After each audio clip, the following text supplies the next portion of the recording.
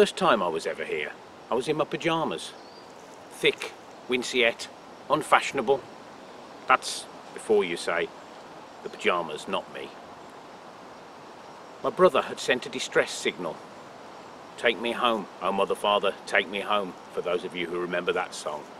But it wasn't any old summer camp. It was militant summer camp. Strikes me you shouldn't even be able to say that without being forced to do so in Alexei Sayle's voice. He'd sent a distress signal from militant summer camp. Militant, you may not even remember, the loony left, as the Thatcherite press of the time um, christened them. But through the thick but gradually thinning geographical fog that characterises all of our childhoods and adolescences, the forest swam either side of the car as we were driven down in the middle of the night to pick my brother up because for whatever reason, I imagine he doesn't even remember himself now, he could no longer stand to be at militant summer camp. And I became vaguely aware of the area for the first time under those somewhat unusual circumstances.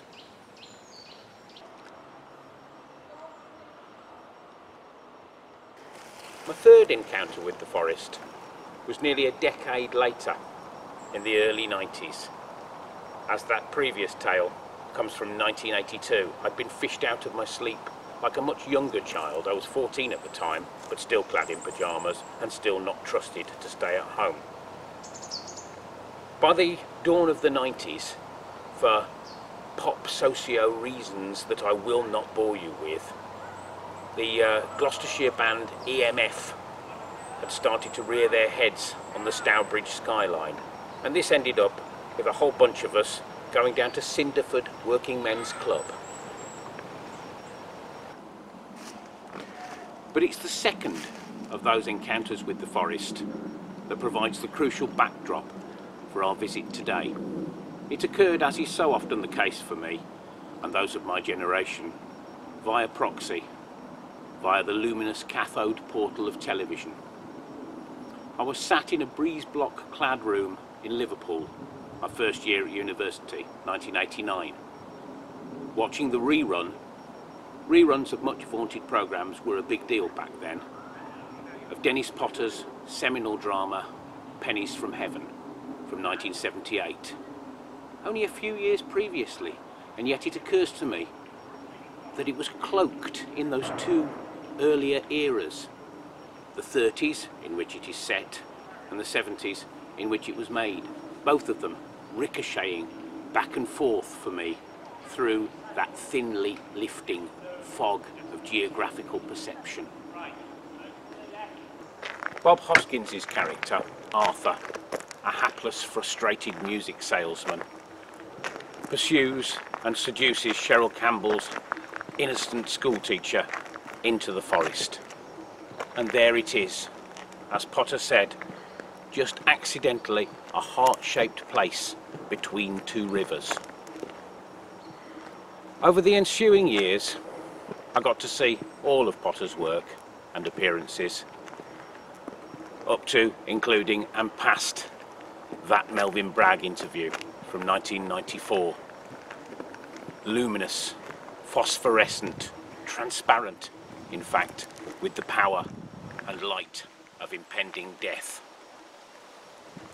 His works have come to cohere, elucidate, and even sanction so many of my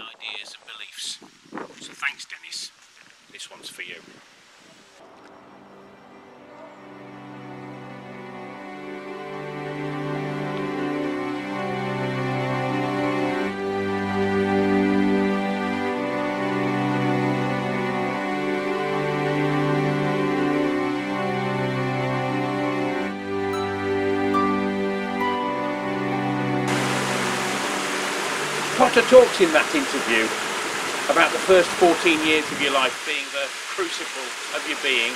And yet, I understand that Larkin-esque idea, that unique random blend of families and fashions that constitutes us all.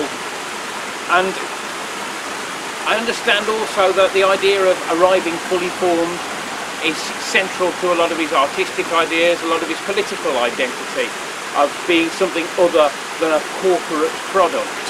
But at the same time, during that early period of your life, not just childhood and adolescence, but your young manhood, your young womanhood, you flail around, don't you? You've, you've walked into the room halfway through the radio broadcast and you're searching here and there, anywhere, for kindling with which to flame into being. And you know those moments when someone on telly says something that you thought, but you thought that only you thought it. And it suddenly occurs to you that not only did he or she think it, but everyone probably thinks it. And I remember Potter doing that for me at the Edinburgh lectures before that interview about this place, Cannop Ponds, just by where his father worked in one of the pit shafts, one of the five pit shafts in the forest, where he said that this for him was where Jesus walked on water and how he clothed all of those other biblical references, those references from the Psalms with places that he knew. And this for me was my Mary Stevens Park, where I had situated Dad's Army, the end credits. I'd put half of uh, the Jon Pertwee era from Doctor Who on Mary Stevens Park and Kinver Edge and Clent and Norton Covert near me. I've done the same thing for Captain Scarlet. He becomes immortal in the multi-storey car park in Stourbridge, and we all do it. And that was one of my first major footholds onto that great inverted pyramid of consciousness that we all get to climb. Um, great inverted pyramid of consciousness. Yeah. Yeah, I think so.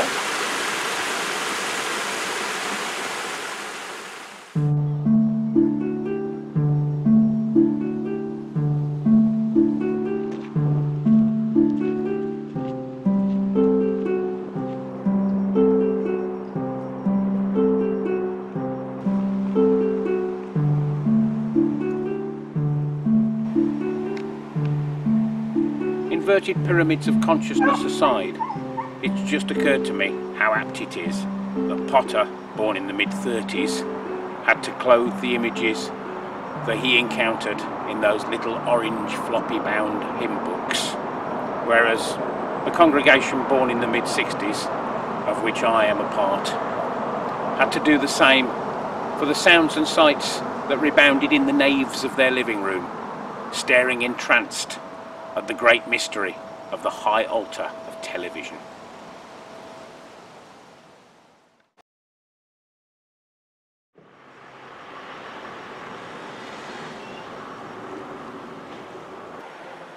Walk through Berry Hill today, where Potter grew up, and a lot that he would have recognised has gone. Certainly that Zionist chapel at the top of the hill with its floppy orange covered hymn books is no more.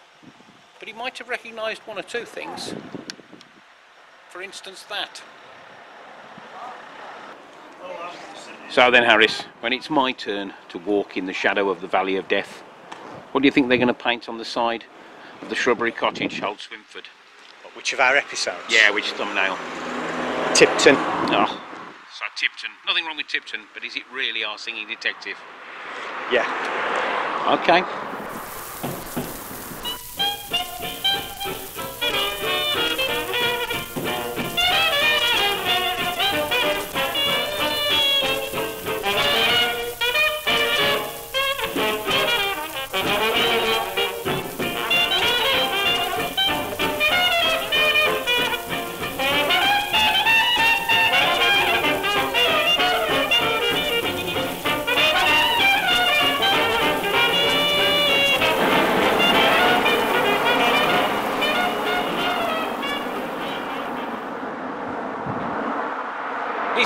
Visually celebrated here in Coleford, the nearest town of any size to Berry Hill. It's a not unattractive place, one of those towns for me that reminds me of a lot of other places. A little bit Upton on Severn with that strange truncated stranded tower in the middle, a little of a, a landlocked seaside feel. Uh, the Georgian or semi-Georgian square ringing the town in, in canted angles some reason thinking of Faringdon in Oxfordshire, a hundred other places at least. It's also got that feel that a lot of small southern towns and a lot of towns in the far east have got of having no outlying districts in the modern sense of the world, of being, as towns were when I was a child, places like Horncastle um, and Spilsby in Lincolnshire, they stop more or less at the end of the high street. There's no great encroaching army of commerce, of pets at home and Dunelm and all of the homogenous forces that encroach on so many towns in the West Midlands. Um, I think it's a really nice uh, I think it's it's nicely photorealistic. I think that works, given the visual medium, certainly of Potter's work, and I think it's well chosen in terms of the quotation. Know it sounds daft, Eileen, but I want to live in a world where the songs come true. Daft, of course, in uh, Bob Hoskins's um, cadence and uh, an accent, but how he would have felt seeing himself leering from the side of a building, I don't know. How would you feel? Be as honest as you can, Lee. How would you feel if you came upon the side of a house in Wednesfield and there you were, either living or in an imaginary afterlife? Yeah, I mean, I think for a writer, I think a lot of writers would, I guess, be happy to have a posthumous life, Yeah. wouldn't they? Yeah, um, certainly. I'm not a writer. No. Um, I think my younger self would have been horrified. Yeah. Uh, now, I think a part of me would be secretly kind of uh, ple- vaguely pleased, but also find it slightly ridiculous. Yes. Yeah. Yeah. In the sense, the, the absurd sense of our own self. Yeah. Yeah. Okay. Yeah. Yeah. yeah. And yourself? I think I'd feel a little bit like I did when Cummings Your Way um, was first put up on the internet. Okay, absolutely horrified for about a minute, and then really pleased.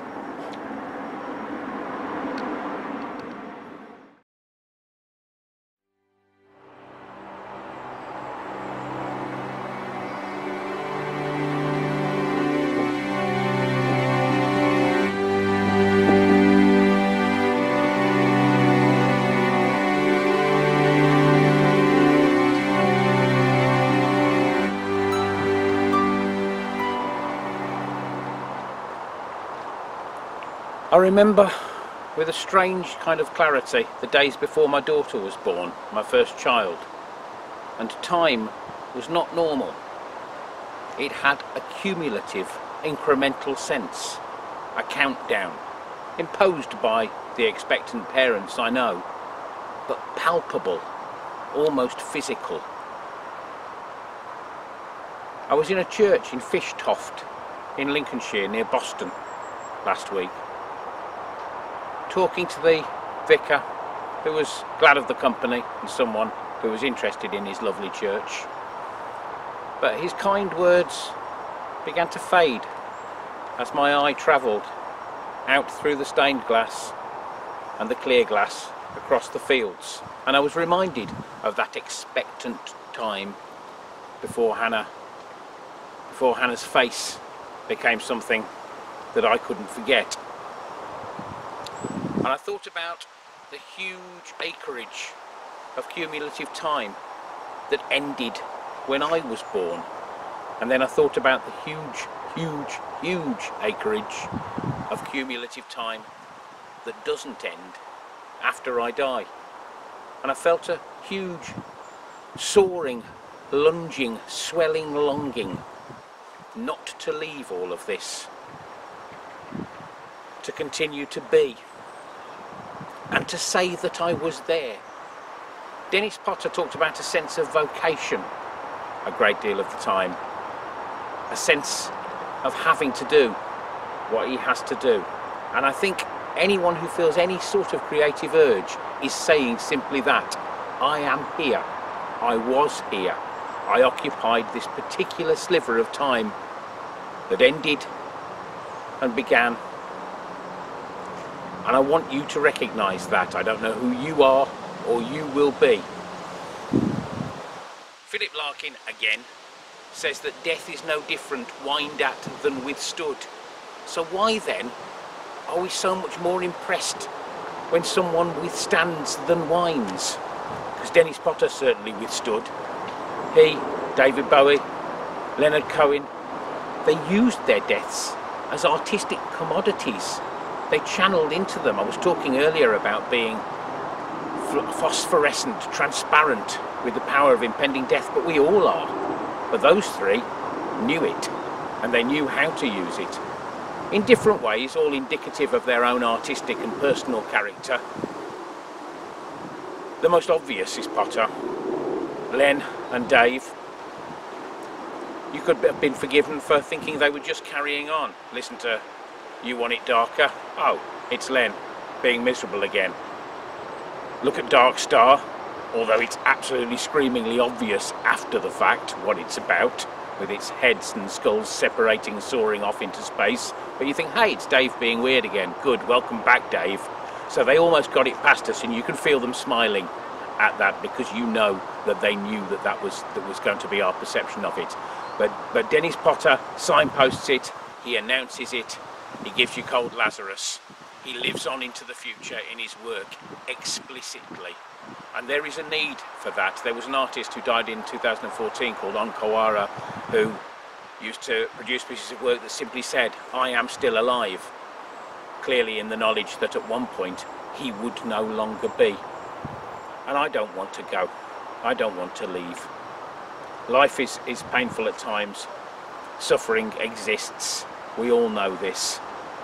But I don't want to leave the sudden prismatic September light on the ferns. I don't want to leave those strange guttering fields in Lincolnshire.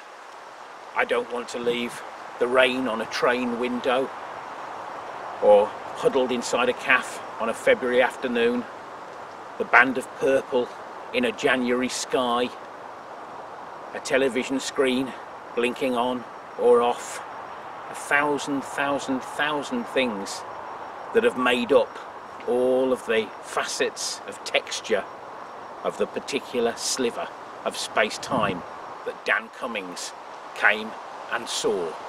I want you to know that I was there because I was.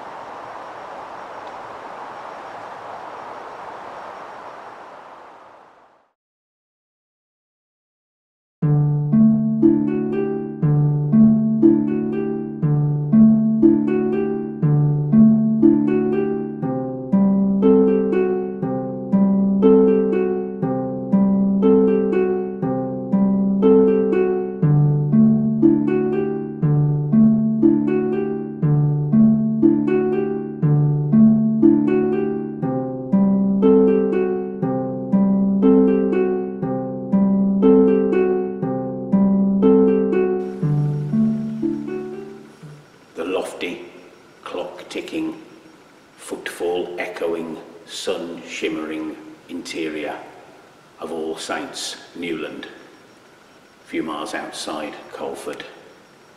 The Cathedral of the Forest, they call it. I'm a sucker for that. Call something the Cathedral of the Anything and I'll visit it. The Cathedral of the Liminal Space between the two cupboards. The Cathedral of the Greggs Vegan Steak Bake. I'll go and have a look. But I understand the implication here. It's a magnificent edifice. The tower, reminiscent of so many others. Totnes, uh, Taunton, a lot of Somerset towers, and the wide bays straggling the delicious churchyard. Uh, when you're younger, you're so full of conflicting emotions and conflicting impulses that you struggle to reconcile them or to keep them quiet or to reveal them to one person but not to another. Um, and you don't realise that you are able to, to have coexisting within you certain apparently contradictory emotions and impulses. And I was talking earlier about Potter sanctioning some of my beliefs, and it was that idea that I could feel the, the, the, the surging visual and emotional patriotism that I do feel without being a jingoist. Once again, thanks for that, Dennis. I hope I've done something worthwhile with it.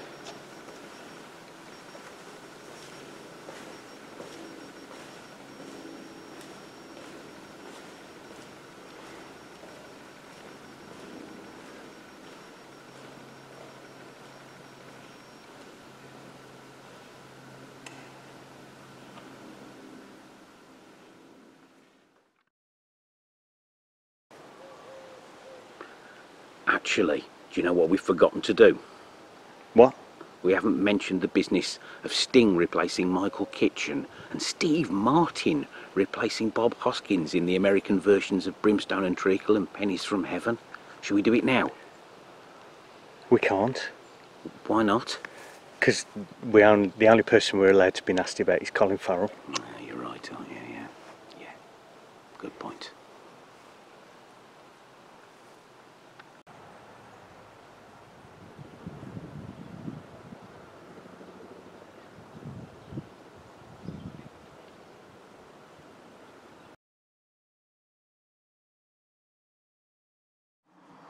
So obviously those were the three artists that came to my mind. Um, Potter himself, Cohen and, uh, and David Bowie. Is there anyone else you can think of who, who revelled in, in the, the power of death artistically?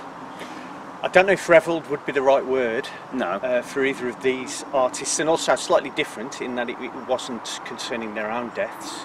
Um, but I think Nick Cave in Oh, right, recent yeah, times, yeah. Uh, Ghosteen yeah. album, um, which is uh, a mighty piece of work, as are uh, other things he's done recently as well.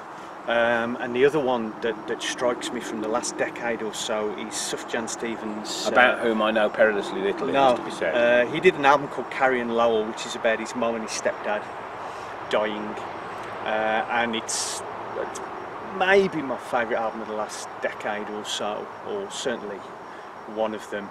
Um, but I have thought many times that a lot of the records I'm listening to, uh, or you know, a portion of what I've been Mm. listening to in recent years, Bowie's Blackstar. yeah, I listened to You Want It Darker yeah. uh, a few times, and, And- and Sufjan Stevens and Nick Cave. He, he's concerned with this subject. I don't know if it's to do with our, our you know, sort of middle age and and the fact that we're perhaps a little bit more receptive to the Yeah. idea. I don't know. Actually, we've we've talked about Yeah. it, and this is going to sound really miserable, but we've talked about death quite a lot Yeah. lately, Yeah. and in and in no way in a miserable way. No.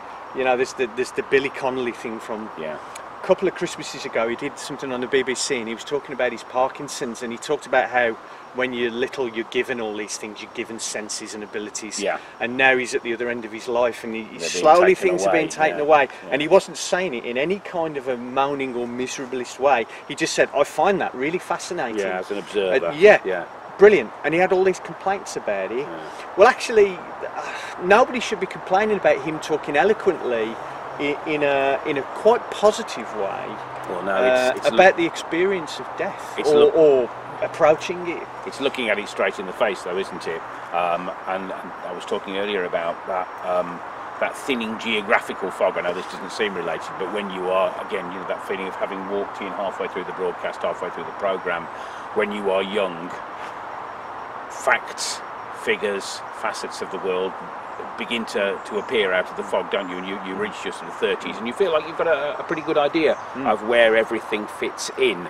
Um, and I suppose that light intensifies and intensifies, and death is the point at which it is it, at its most intense. It can get no brighter. That's the that's the, the last thing Yeah, to yeah. illuminate. Yeah. And people don't want to look at it as a result, do they? Yeah. Um, you know, they, they say that, that, Yeah. that that is the last taboo, don't they? That the Victorians um, Yeah. had taboos about all sorts of things that we didn't. Yeah. But that we have a greater taboo about death. Absolutely. I think that Absolutely. might be true. But um, as, as I was saying to you the other day, um, just as we lose the last two or three members of our audience, Yeah, yeah. um, you know that uh, Yeah. that idea of, of sort of we watched Potter's interview again, and then that idea of sort of terminal illness, Yeah. knowing it's imminent. yeah. You know, but actually, I, I do think it's quite um, useful. Actually, just to think we are all terminally ill. That I think that is literally true. Yeah. Um, and again, not not meaning to be miserable about that. I think I think it's quite something that really sharpens the mind for that idea. Yeah, it's Yeah. happening. It's inevitable, and um, you got to live in the moment, like Potter said in the interview. He talks about the present tense all constantly, doesn't he? There truly is. Writing yeah. and living in Yeah. the present tense. Yeah. That's a beautiful thing. Yeah. There's just one other thing I'd say. Um, you were just saying you want people to know that Yeah. you were there, that Yeah. this was Dan Cummings' sort of portion of it, or Yeah. you know. Um, and actually, I think most people feel like that, and don't they? But I'm going to pose a different view that actually I'm trying to approach a point where I'm thinking, I don't care. I do not care after I'm dead what anybody thinks. I don't care what's played at my funeral. I don't care what people. I care what people think. I do care Right. what people think. But I'm, I actually, to be forgotten, I think is is is perfectly fine. I think used- it's fine because used- it's an inevitability. I used to want to be stuffed and put in the cake stand in the mitre in Stourbridge, um, going revolving round with those rather limp cakes that used to go um, go on a, a- a cylindrical um, journey every day, which is a little bit like what well, it's actually nothing at all like what Mad Jack Fuller, the Victorian Oh, yeah. eccentric, who was buried inside his pyramid in um, Brightonstone. Well, I- um, and um, go on, sorry. I say I, I, I know people. I can pull strings. I can get you on that rotating Oh right, okay, tray. okay, fair enough. Right, yeah, yeah. It wasn't Brightonstone, was it? That was the ancient village of the ancient village, the um, the former village of Brighton. But we digress within a digression, within a digression, which is our want. Um, so, yeah, indeed.